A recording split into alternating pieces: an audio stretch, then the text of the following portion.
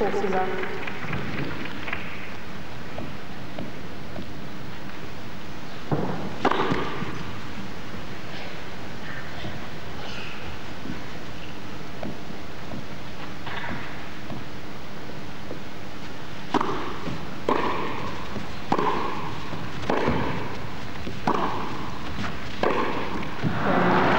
Und das ist es. Martina Hingis steht im Finale der Pan Pacific Open in Tokio.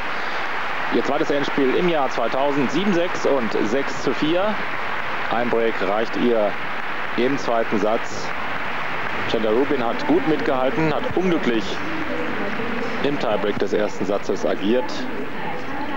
Hingis alles in allem verdient in diesem Endspiel, in dem sie morgen auf Sandrine Testu aus Frankreich trifft. Bin gespannt, was die Französin Martina Hingis wird abverlangen können. Das war's von diesem Halbfinale aus Tokio. Ich hoffe, Sie sind morgen wieder mit von der Partie. Wenn es heißt Hingis gegen Testu.